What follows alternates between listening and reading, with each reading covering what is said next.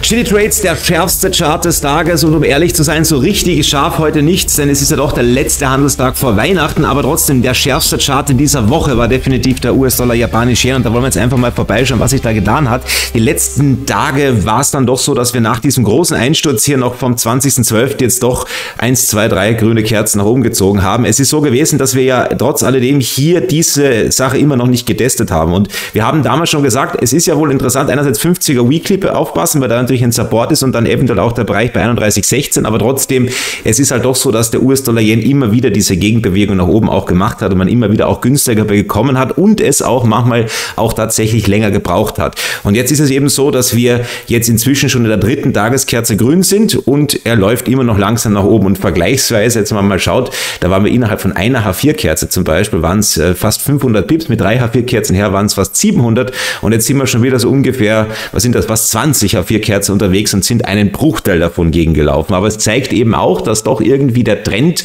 noch gewissermaßen existiert. Also irgendwo ist dieser Short-Ausbruch gültig, weil richtig steigen will er eben auch nicht. Das ist vielleicht ein entscheidender Punkt, denn es ist ja auch gut, wenn bei so einem Retest es nicht zu schnell geht, sondern wenn er sich so langsam hochkämpft, weil das zeigt halt einfach, dass der Wind trotzdem weiterhin short weht. Und deswegen für mich immer noch interessant, diesen Retest zu handeln. Also ich warte immer noch mit dem Sell-Limit, dass er hier hochkommt in Richtung 33,60. Das könnte auch äh, vielleicht heute noch passieren, aber sonst vielleicht auch nächste Woche noch.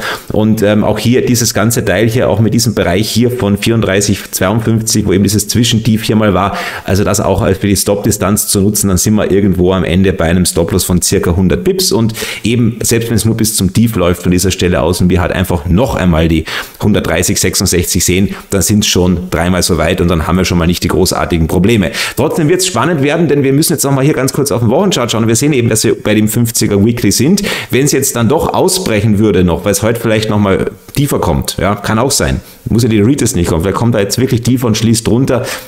Und dann wäre natürlich der Ausbruch der Wochenkerze hier auch nochmal interessant.